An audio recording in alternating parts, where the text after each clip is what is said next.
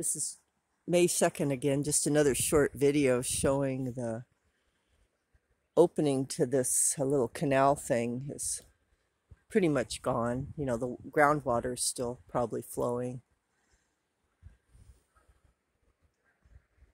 As the river goes on, and then way up there, you can see the exciting new little loop around the, the well well established island out there. I'll head over there.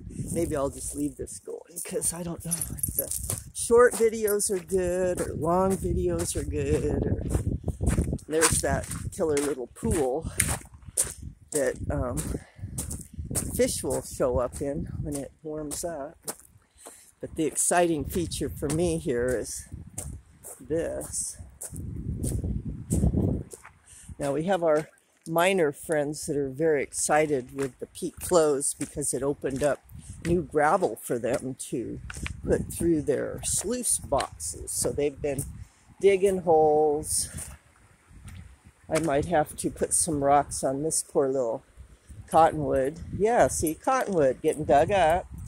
It's frustrating, but um, we all live on this earth together, and you know, the people that dig holes, maybe it's a pain in the butt, but there's a water agency that wants to kill off this entire river. So you have to keep things in perspective. I mean, here's a guy with a shovel, makes a hole. So what compared to taking out the entire river? I try to keep that in mind. It's like using death as an advisor. I mean, maybe these guys are, you know, not good with my ideas, but at least they don't want to kill off the river. They love the river just like we do. So they are allies in the preservation of this river for different reasons. But, you know, they love the river, and I'm going to pile some rocks along that cottonwood to discourage them doing that. But here's the trees that have established themselves with the guys digging holes.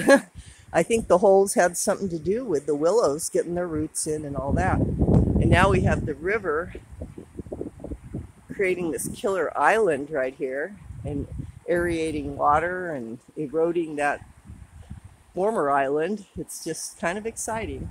Oh, Mitakuye Oyasin.